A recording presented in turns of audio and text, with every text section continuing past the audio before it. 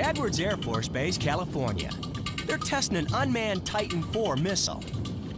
That there's Yankee ingenuity at its best. The most kick-ass rocket booster we make. That sucker can launch 10,000 pound payloads into space, no problem. All systems go. Yeah, we dig saying that. Three, two, one.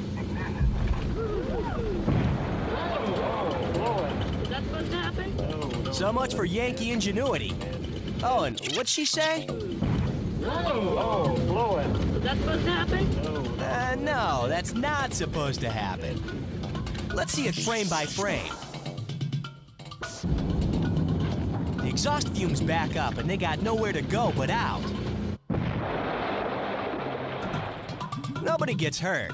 But if you're wondering where your tax dollars go, well, up in smoke.